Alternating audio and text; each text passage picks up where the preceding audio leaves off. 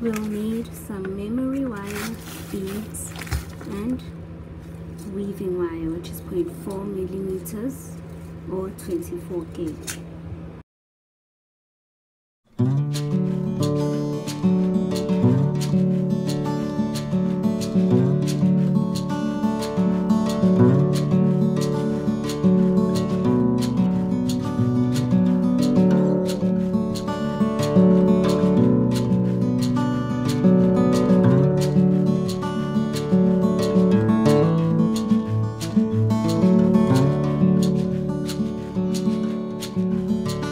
Thank you.